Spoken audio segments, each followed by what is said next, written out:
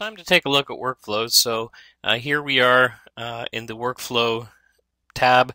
As you can see here, workflows is really a specialized kind of task that contains data containing to which tasks are within a workflow and the relationship between tasks and the conditions in which they'll proceed from one task to the other.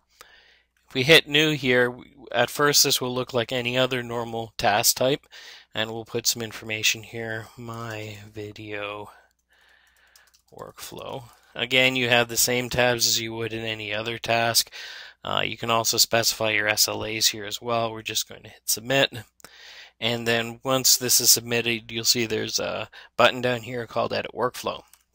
When we click on Edit Workflow, we're brought into the workflow canvas. So you'll see that we have a big white area to work with and a number of buttons along the top, you know, for saving and opening, uh, zooming in and out, doing auto arrangements.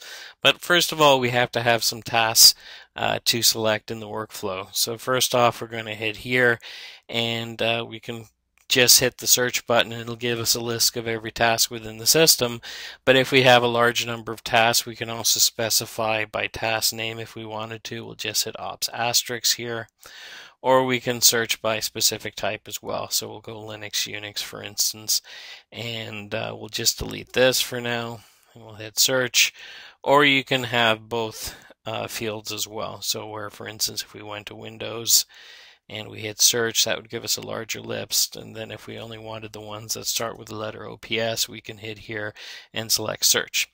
So we have some tasks here. So the first thing we're going to do is um, get rid of this for now. We're going to use some of the tasks that we've already worked with. So for instance, we're going to drop the backup task uh, on the canvas and also we're going to put the uh, set task as well. Uh, you can really mix and match the different task types that you have uh, throughout the system. Perhaps we want to have an email task. Uh, there may be a manual step in there where we need to have approval before uh, a workflow can proceed. We'll throw in some Linux or Unix tasks. And we'll drop that one down here. And we can even have workflows embedded within workflows.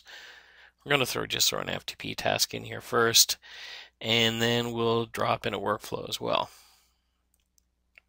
So here I'm going to drop in uh, this uh, workflow here. So we have a number of tasks here. So what we would then do next is really um, set the relationships between the tasks. So first we'll start off with a backup task. We'll go to set test. Perhaps this will release this task and this task, and then they will uh, release other tasks throughout the system. So once you have the relationships correctly, you can hit the auto arrange here and it will uh, give you the, it'll tidy this up for you. If you were to go in here and right click on the arrow, you can set the um, conditions and the view run criteria as well. So we're just going to hit save before we do this.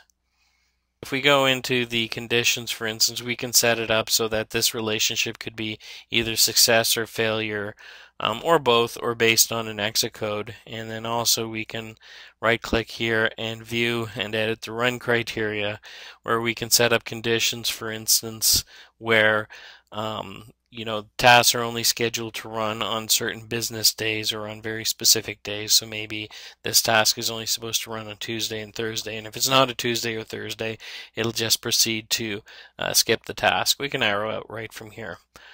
Um, once we have it already saved, which we already do, we can launch this at any time. Click on launch. Um, as we saw earlier in the activity display, we can then go to the activity display and let's hit, uh, let's look for workflows. And here's my video workflow. You see the status of it. You can drill down and you'll see that uh, um, it's continuing to run. We can issue commands against them by right clicking here and issuing commands, and we can even drill down to sub workflows as well.